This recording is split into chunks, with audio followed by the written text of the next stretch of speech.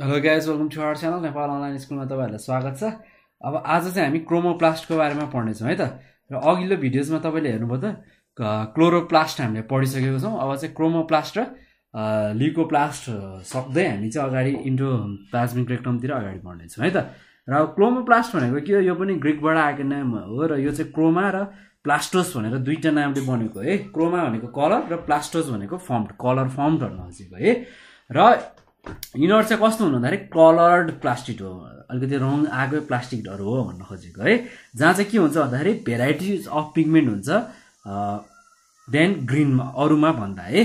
Other than green भन्दा चाहिँ अरू खालको पिगमेन्टहरू पनि प्रेजेन्ट हुन्छ यो खालको क्रोमोप्लास्टमा है। र यिनीहरू चाहिँ कलर्ड पार्ट अफ प्लान्ट हो जस्तो कि फ्लावर्स फ्रुट्स एसेक्ट्राहरू पर्छ। They are found in coloured parts of plant such as flower fruits etcetera भन्न सकिन्छ है। र यो फर्म कहाँनिर हुन्छ भन्दाखेरि either from the chloroplast by the replacement of chlorophyll with other pigment है? क्लोरोप्लास्टको सट्टा चाहिँ अरू पिगमेन्ट अरू पिगमेन्ट्सहरूले चाहिँ रिप्लेस गरेको जस्तै गरी रिड रेड पिगमेन्ट्सहरू आउँछ लाइफसोस्लिनहरूको टोमेटोजहरूमा होइन? त्यसै गरी चिलिजहरूमा खोर्सानीहरूमा के हुन्छ? गोल्डबेडाहरूमा है? त्यस्तो त्यस्तो कुराहरू। अर यस्तै सँगसँगै के पनि हुन्छ भन्दाखेरि ल्युकोप्लास्टहरू फर्म गरेको हुन्छ by the development of some pigments अरू पिगमेन्ट्सहरू आएर। जस्तै कि क्यारोटिन्सहरूमा होइन? क्यारोट फ्रुट्सहरूमा है त्यस्तै कुराहरू एब्जर्भ अब्जर्भ गर्न सक्छौँ हामीले। त्यसै गरी क्लोरोप्लास्ट मे अल्सो कन्टेन्ट के के कुराहरू कन्टेन्ट गर्न सक्छौँ भन्दाखेरि एथोलोसाइनहरू कन्टेन्ट गर्न सक्छ जहाँ चाहिँ ग्रुप ग्रुप अफ कलरिङ म्याटेरियल्सहरू चाहिँ डिजल्भ भएर रहेको हुन्छ। यसको भ्यास्कुलर स्यापमा है अथवा पेटल्सको भ्यास्कुलर स्यापमा जस्तै कि प्रोभाइड गर्छ? भाइलेट पर्पल ब्लू ब्राउन यस्तो खालको रङहरू प्रोभाइड गर्ने गर्छ क्या फुलहरूमा चाहिँ है। र क्लोरोप्लास्टहरू चाहिँ के पनि भएको हुन्छ भन्दाखेरि बााउन्डेड भएर रहेको हुन्छ डबल लेयर मेम्बरमा है? र जुन चाहिँ इन्क्लोज म्याट्रिक्स अथवा स्ट्रोमा हो। बट ल्याम्ला के हुन्छ? त्यहाँ चाहिँ ल्याम्ला र ग्रानाहरू चाहिँ रहँदैन है? But there is no lamella and grana भनेर भन्न सक्छौँ है? र क्लो क्लोरोप्लास्ट चाहिँ एङ्गुलर अथवा निडल सेपको स्ट्रक्चरमा चाहिँ रहेको हुन्छ है त? र पिगमेन्टको प्रेजेन्ट अनुसार चाहिँ क्लोरोप्लास्टहरूलाई चाहिँ केही भागमा डिभाइड गरिएको छ जस्तै कि रोडोप्लास्ट क्रोमाप्लास्ट होइन? क्रोमेटोफोरस भनेर होइन? फेजोप्लास्ट भन्छ है त अब फेजोफ्रेस्टको हामी फर्स्टमा कुरा गर्दैछौँ है त। पिएचएइओ पिओ पिएलएएसटिएस प्लास्ट है? फिएजोप्लास्ट। फिएजोप्लास्ट भनेको यो ग्रिक वर्ड हो। फियो भनेको डार्क हो अथवा ब्राउन हो तथा प्लास्ट भनेको लिभिङ डार्क अथवा ब्राउन लिभिङ भनेर भन्न खोजेको हो। यिनीहरू कहाँनिर भेटिन्छ भन्दाखेरि डाइटोसम्स डिग्नोफ्रान्स र ब्राउन आल्गाईहरूमा भेटिन्छ जहाँ चाहिँ के कन्टेन्ट हुन्छ? ब्राउन पिगमेन्ट्सहरू प्रेजेन्ट भएको हुन्छ। त्यसै गरी एन्सनलो फ्लायल र फिकोचिन्सहरूमा भेटिन्छ यो है। त्यसै गरी अर्को पोइन्टको कुरा गरौँ हामी रेडोप्लास्टको कुरा गरौँ। रेडोप्लास्टहरू चाहिँ जस्तै कि रेड आल्गाहरू भेटिन्छ है। र यसमा के कन्टेन्ट भएको हुन्छ? रेड पिगमेन्टहरू कन्टेन्ट भएको हुन्छ है। त्यसै गरी क्रोमेटोफ्रोजको कुरा गर्नुपर्दा अथवा क्रोमेटोफ्रेन्ड अफ ब्लू ग्रिन आल्गीको कुरा गर्नु पर्दाखेरि यो ब्लू ग्रिन आर्गीहरूमा चाहिँ भेटिन्छ। र यसमा के कन्टेन्ट भएको हुन्छ भन्दाखेरि सी फाइरोसियन्सहरू चाहिँ कन्टेन्ट भएको हुन्छ है त? अब हामी कुरा गरौँ अर्को पोइन्टको क्रोमेटोफियर्सको कुरा गरौँ। क्रोमेटोफियर्स अफ फोटोसाइन्थेटिक ब्याक्टेरियाको कुरा गर्नु पर्दाखेरि यो चाहिँ कहाँनिर प्रेजेन्ट भएको हुन्छ? पर्पल फोटोसाइन्थेटिक ब्याक्टेरियाहरूमा भेटिएको हुन्छ है त? यिनीहरूलाई भेट्न सकिन्छ। दिस ब्याक्टेरियाको यिनीहरू ब्याक्टेरियामा के हुन्छ भन्दाखेरि पर्पल रेड कार्टुन पिगमेन्ट्सहरू चाहिँ रहेको हुन्छ है त? र फङ्सनको कुरा गर्नु पर्दाखेरि क्रोमोप्लास्टले के बनाउँछ? फ्लावर बनाउँछ त्यसरी स्लोली फ्रुट्स बनाउँदै जान्छ र यसले चाहिँ एट्र्याक्ट गर्न थाल्छ। इन्टिभेट इन्स त्यस्तो इन्सेक्ट्स र अरू एनिमलहरूलाई है? जसले चाहिँ पोलिनेसन पोलिनेसनलाई मद्दत गर्छ त्यसै गरी डिस्पर्सल अफ फ्रुट र सिडलाई पनि मद्दत पुऱ्याउने काम गरेको हुन्छ है त?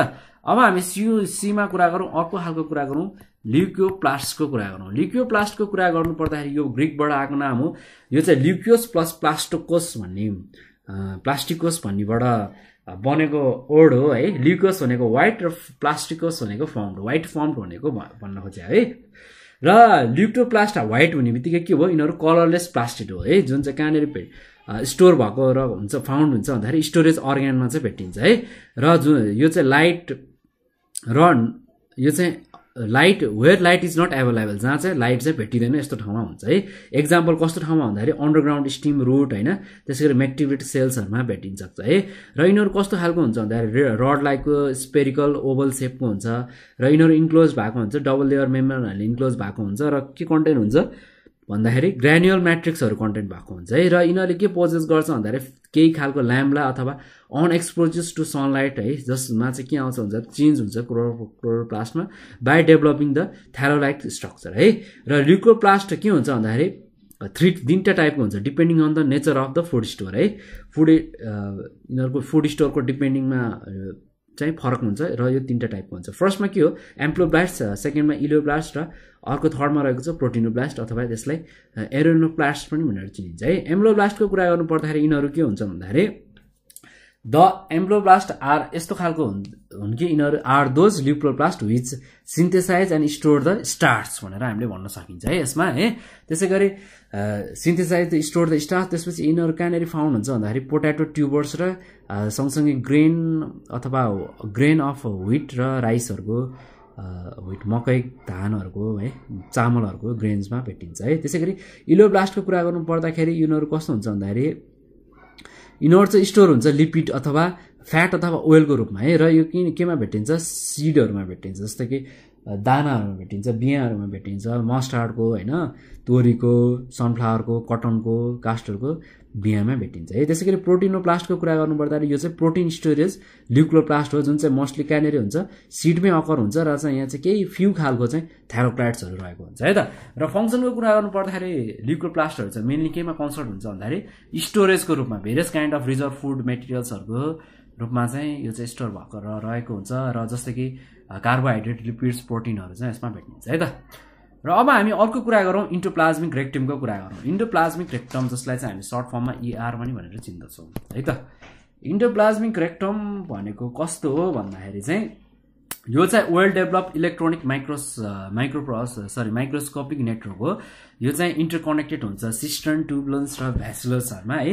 र यो प्रेजेन्ट हुन्छ थ्रु आउट द साइटोप्लाजम र स्पेसल्ली चाहिँ इन्डोप्लाजमहरूमा है। र इआर चाहिँ अथवा इन्टोप्लाज्मिक रेक्टुलम चाहिँ फर्स्ट कसले अब्जर्भ गरेको थियो भन्दाखेरि ग्रानुलरले ग्यारिनरले एटिन नाइन्टी सेभेन एडीमा बट यसको चाहिँ अल्ट्रा स्ट्रक्चर चाहिँ फर्स्ट टाइम कसले दिएको हो भन्दाखेरि चाहिँ पोर्टर्स क्याल्सियम र फिलियनले नाइन्टिन फोर्टी फाइभ एडियामा है। र इन्डो इन्डोप्लाज्मिक रेक्टम भनेर चाहिँ नाम दिएको पनि चाहिँ उहाँहरूले नै हो पोर्टर्सहरूले नै दिएको हो नाइन्टिन फिफ्टी थ्री एडियामा है त।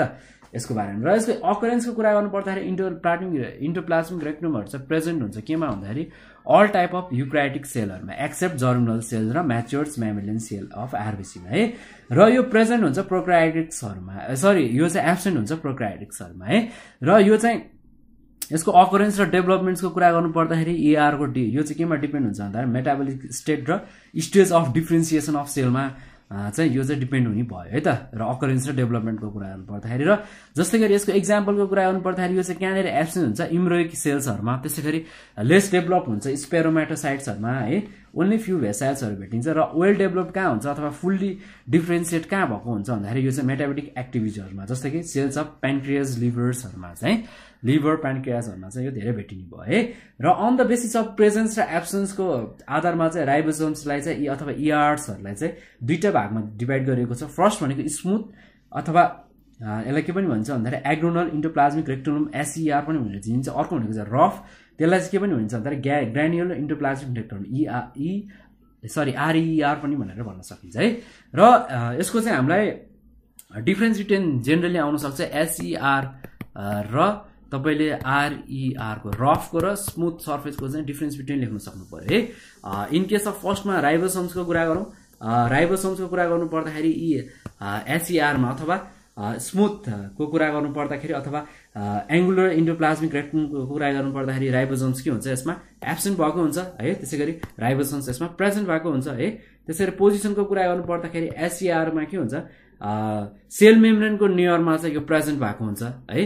त्यसै गरी यस यो चाहिँ कहाँनिर प्रेजेन्ट भएको हुन्छ भन्दाखेरि नियर द न्युक्लियस प्रेजेन्ट भएको हुन्छ है? त्यसै गरी कम्पोनेन्ट्सको कुरा गर्नु पर्दाखेरि कम्पोनेन्ट्सको कुरा गर्नु पर्दा एसिआरमा के हुन्छ? मेनली कन्सिक्वेन्स अफ ट्युबुलस भएको हुन्छ भने आरइआरमा चाहिँ मेनली कन्सिक्वेन्स अफ सिस्टर्नियनमा चाहिँ हुन्छ है? र त्यसै गरी अकरेन्सको कुरा गर्नु पर्दाखेरि अकरेन्सको कुरा गर्दै आउँदाखेरि एसिआरमा के हुन्छ?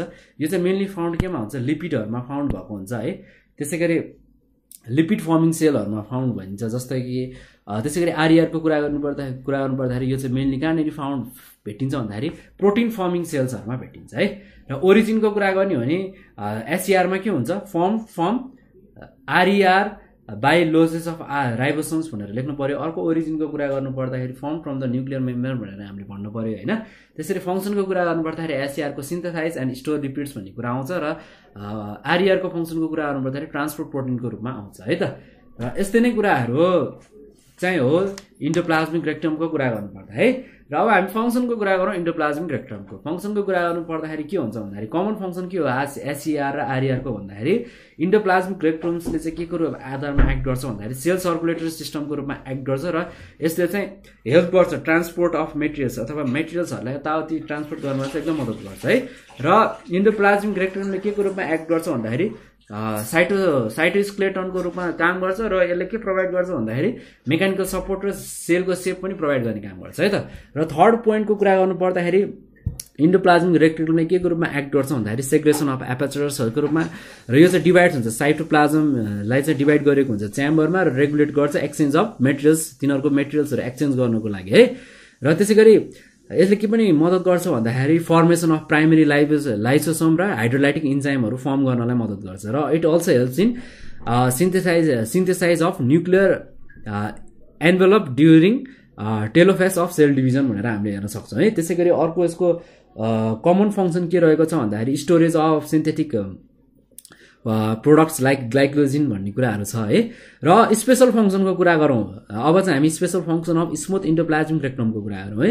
यो केमा इन्भल्भ छ भन्दाखेरि सिन्थेसाइजेसन अफ लिपिडमा त्यसै गरी यो अर्को के कुरामा नि र यसले के कुरा सिन्थेसाइज गर्न मद्दत गर्छ भन्दाखेरि स्टोरोइड हर्मोन्सहरूलाई पनि के सिन्थेसाइज गर्नलाई मद्दत गराइरहेको हुन्छ। र अर्को पोइन्ट रहेको छ special function of smooth endoplasmic रेक्टमको चाहिँ it helps in glycogenolysis in the liver cell भनेर नै हामीले पढ्नु।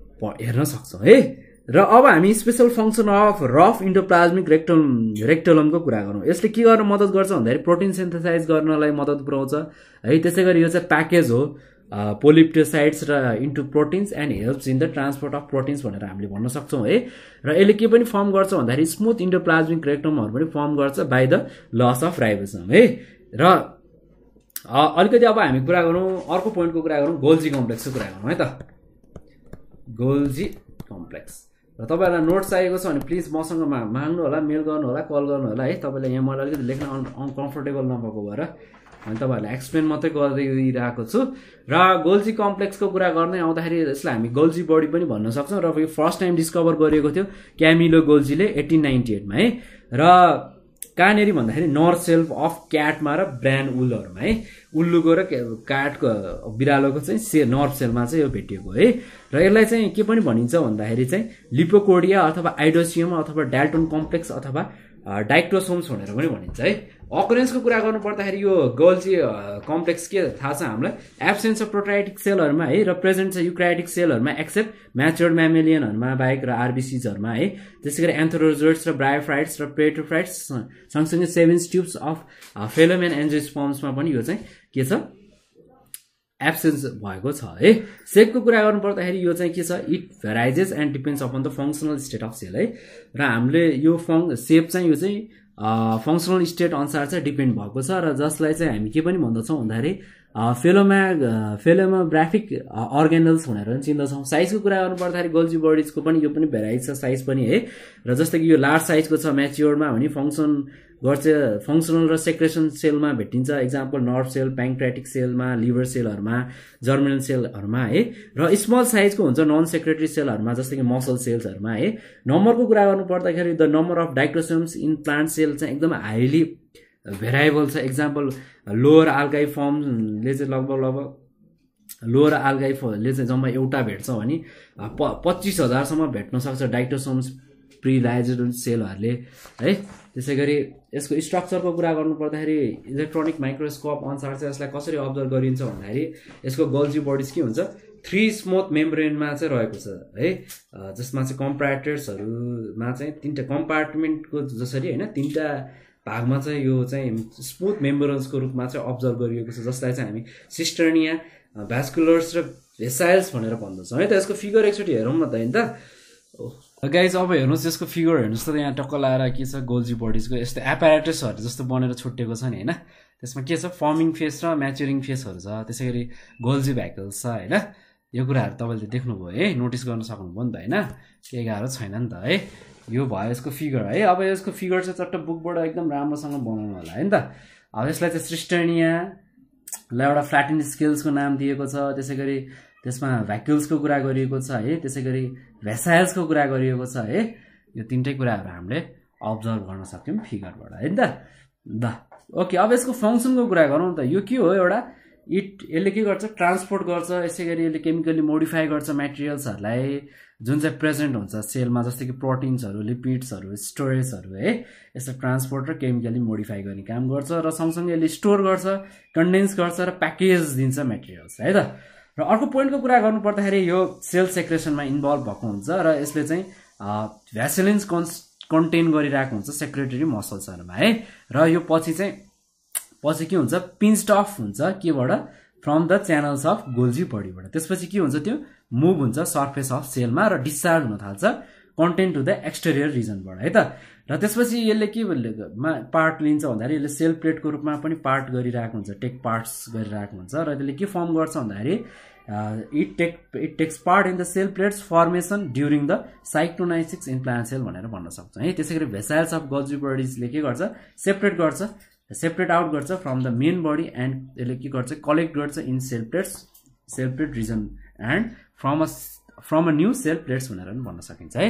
र यसले के पनि गर्न मद्दत गर्छ भन्दाखेरि it helps in synthetics of peptic substance भनेर हामीले भन्न सक्छौँ सेल वालमा है? र अर्को यसको यसले गर्ने मद्दत भनेको गल्ज गोल्जी बडिजले यसले के पनि फर्म गर्छ भन्दाखेरि प्राइमेरी लाइसम्सहरू पनि फर्म गर्नलाई चाहिँ मद्दत गर्छ। सँगसँगै यसले अर्को फर्मेसन भनेको हर्मोन्सहरू फर्म गर्नलाई मद्दत गर्छ। केमा भन्दाखेरि इन्टरक्राइटिक सेलमा जस्तै कि थाइरिक्सहरू छ थाइरोइडिक थाइरोइडहरू आउने ग्ल्यान्ड सेलहरूमा छ नि। यस्तो खालको थाइरोइड्सहरू फर्म गर्ने यसको हर्मोन्समा पनि यसको कुरा आउँछ। र यसले सँगसँगै अरू कुरा रहेको छ यसले चाहिँ बायोसिन्थेसाइटिक गर्छ। ग्लाइसिकको प्रोटिन्सहरूलाई है त्यसको पार्टमा पनि यसले मद्दत गर्छ र Golgi bodies of ethylic cells of the intestinal सेल्सले के पनि मद्दत गर्छ भन्दाखेरि लिपिड्सको एब्जर्प्सन गर्न पनि मद्दत पुऱ्याइरहेको हुन्छ है त? र गाइज अब आजको लागि चाहिँ यति नै पढौँ र अब हामी नेक्स्ट भिडियोमा लाइफ सन्सन्सको बारेमा हेर्नेछौँ। र यति भन्दै आजको भिडियोबाट म बिदा हुन चाहन्छु। Bye guys you next video